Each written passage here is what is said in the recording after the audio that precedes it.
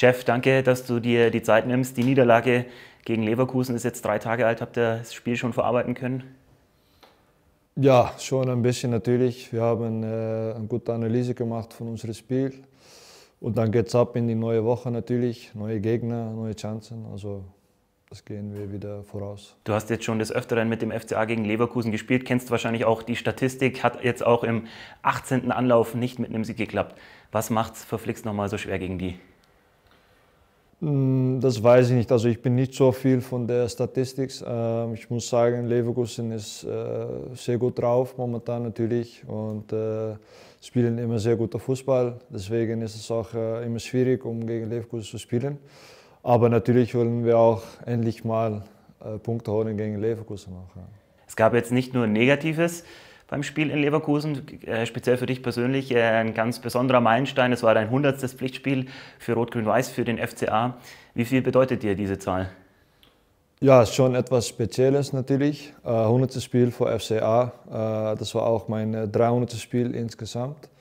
Also das war schon äh, etwas Spezielles und ja, ich glaube vor allem nach der Karriere, wo man dann alles zurück anschaut, dann, dann ist das ja, etwas Spezielles und äh, das macht stolz natürlich. Dein erstes Pflichtspiel für den FCA ist ziemlich genau vier Jahre lang her. Kannst du dich noch daran erinnern? Gegen Bayern, ja, zu Hause, glaube ich. Ja. Richtig, haben wir 1 zu 3 verloren. Ja. Und dann im zweiten Spiel den ersten Sieg eingefahren. Äh, das weiß ich nicht mehr genau. Äh, erstes Spiel, das bleibt immer natürlich im Kopf hängen. Äh, vor allem zu Hause gegen Bayern. Äh, das ist natürlich speziell. Aber das andere Spiel weiß ich nicht. Es war ein 1 zu 0 Auswärtssieg in Hannover. Okay. Es war ja damals auch eine ganz schwierige Phase. Viele behaupten ja, wenn wir zu der Zeit äh, in der Europa League nicht gegen Liverpool rausgeflogen wären, hätten wir vielleicht die Liga nicht gehalten wegen der Doppelbelastung. Wie hast du diese Zeit damals miterlebt? Ähm, ja, schon ähm, ein bisschen ähm, schwierig natürlich, weil äh, mein Sohn war damals äh, ein paar Tage alt, äh, war geboren in, äh, gebor Geburt in, Holl in Holland. Ähm, und ich bin dann von Verein gewechselt, war nicht so einfach in dieser Zeit. Aber wenn man zurückschaut, dann äh, bin ich sehr glücklich, dass ich diesen Schritt gemacht habe. Und äh, ja, wir fühlen uns auch sehr gut hier. Du hast äh, viele Durststrecken mitgemacht, aber auch viele schöne Sachen erlebt beim FCA, auch Erfolge feiern können, zahlreiche Klassenerhaltsfeiern mitgemacht. Was war denn dein schönster Moment in den 100 Spielen? Ähm, schönster Moment, äh, das erste Spiel natürlich bleibt immer etwas Besonderes. Ähm, und so wie du sagst, äh, jedes Jahr der Klassenerhalt feiern. Das ist natürlich für, der, für, für FCA auch äh, immer etwas Spezielles. Und äh, ja, wenn wir dieses Ziel äh, jedes Jahr erreichen können, dann, äh, dann sind wir alle glücklich, denke ich. Lass uns auf das nächste Spiel schauen. Am Samstag kommt Gladbach in die WWK Arena. Wird wieder ein schweres Spiel. Was erwartest du dir?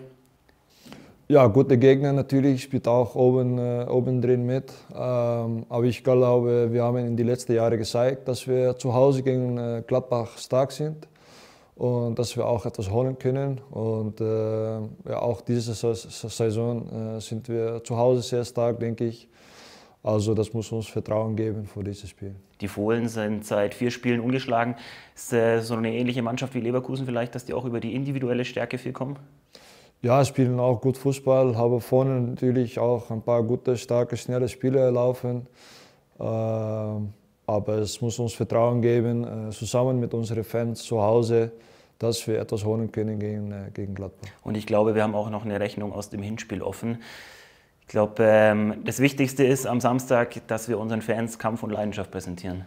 Genau, ich glaube, das, würden auch, äh, das, das ist, was unsere Fans auch sehen wollen von, äh, von uns. Und es fängt immer an mit Kämpfen auf dem Platz, egal ob du gut oder schlecht äh, spielst.